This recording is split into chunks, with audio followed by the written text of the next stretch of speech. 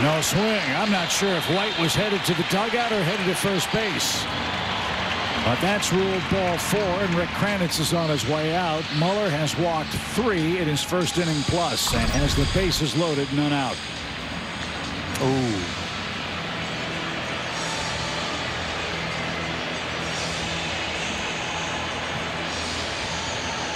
Yeah, I don't blame them. You saw Snit yelling across the dugout. I, I got to believe, felt like he went on that one.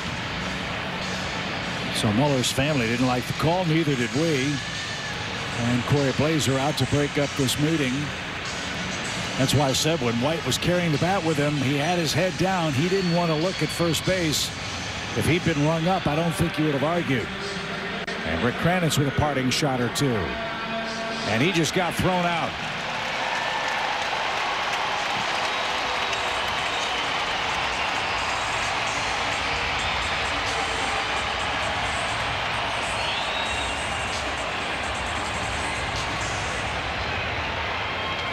You can't argue balls and strikes. That's grounds for automatic ejection. And you could read Cranny's lips. He said he did not argue that.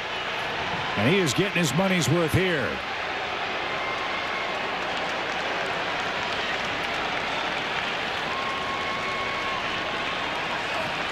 Yeah, sometimes you get out there, Chip, and you just got to let it eat. And that was Cranny. I agree. One arguing ball strikes, arguing check swing.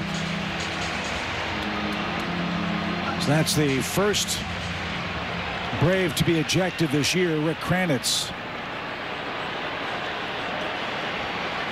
Now the Braves in a big mess here, bases loaded, and nobody out.